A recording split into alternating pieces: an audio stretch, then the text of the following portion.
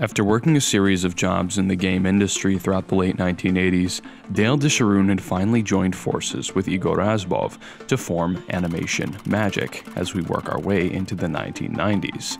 But at this point, their story had only just begun.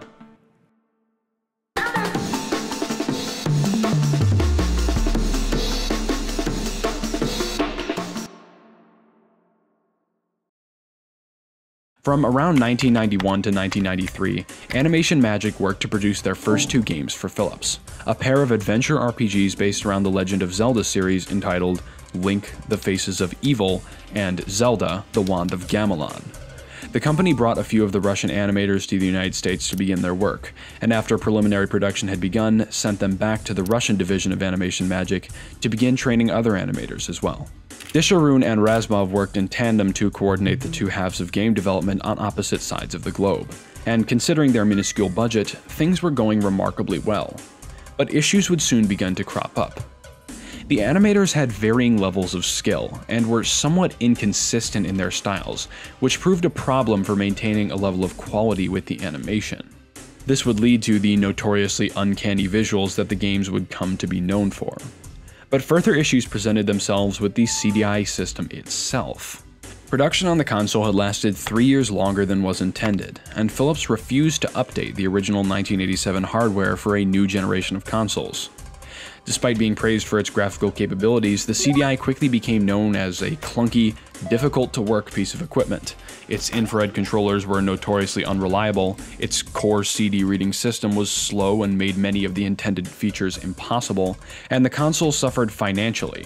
Not just because of its $1,000 price tag, but because, despite its biggest sellers being games, the CDI was never marketed to be for games in the first place. Coupled with mismanagement in the upper levels of Philips and the abysmal levels of funding Animation Magic was given, it was clear the company had their work cut out for them. But they persisted, and on October 10th of 1993, the two Zelda games were released. Animation Magic had saved dramatically by essentially designing one game engine that would be used for both games, implementing nearly identical game mechanics but with different enemies, storylines, and cutscenes. Now, contrary to popular belief, the game was not panned on release, as it is now. Rather, it received a fairly lukewarm response, with critics praising its impressive visuals but remarking on its clunky gameplay and its general mediocrity as a game. But Animation Magic wasn't finished yet. Soon after completing Faces of Evil and Wand of Gamelon, Animation Magic began work on another Nintendo-based game, Hotel Mario, and gave it essentially the same treatment as the Zelda games a year earlier.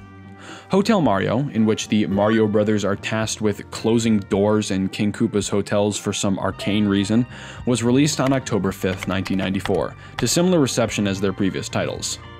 The games weren't awful, they were just decidedly average, and when compared with Nintendo titles of the time, which had strived to maintain a massive standard of quality and had considerably larger budgets, the Animation Magic games simply couldn't hold up.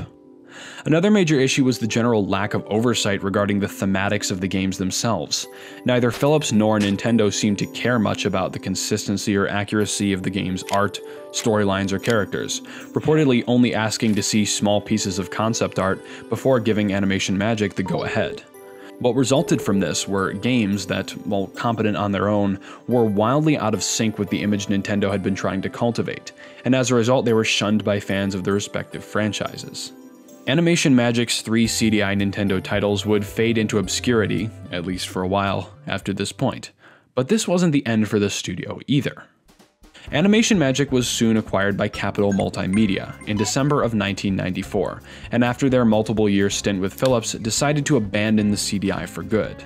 The CDI system itself would eventually go on to be known as one of the worst game consoles ever developed, and regrettably, it's often remembered for the low quality of the games Philip had contracted Animation Magic to produce.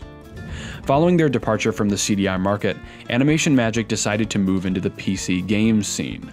One of their first and most successful titles was the popular I Am Mean, released August 11, 1995, an edutainment game for MS-DOS in which the player is tasked with defeating the magician Ignatius Mortimer Meen and freeing imprisoned children by way of learning proper spelling and grammar.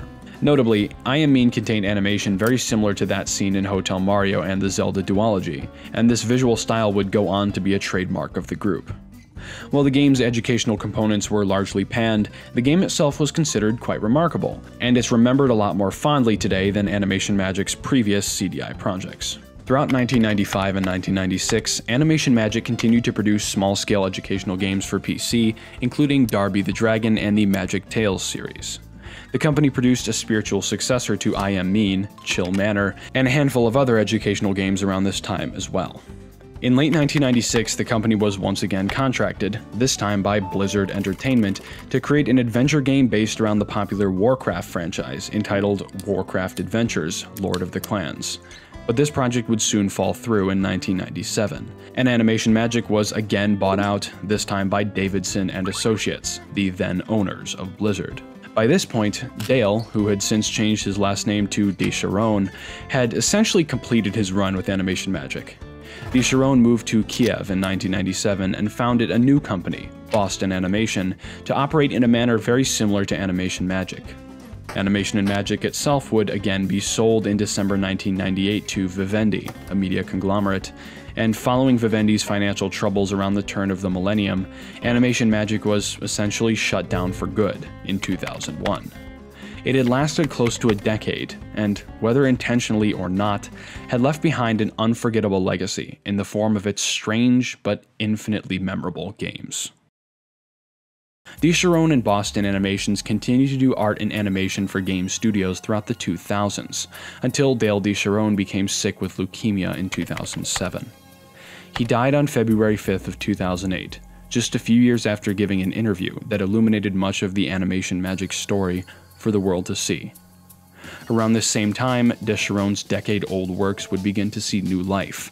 The rapidly developing YTP community took to the scenes from the Zelda games, Hotel Mario, and I.M. Meen exceedingly well, and they continue, to this day, to be the most instantly recognizable icons of YTP the world has ever seen. Other elements from the game seem to permeate various corners of the web. The shopkeeper Morshu's dialogue from Faces of Evil, Mario's opening words from Hotel Mario, and much more all remain iconic even to this day. The legacy of Dale DeSharone and Animation Magic may not be a perfect one, but in its own unusual way, the company managed to bring joy to people all across the globe nearly 30 years after its creation. And in the end, that really is the best they could have hoped for. Thanks for watching.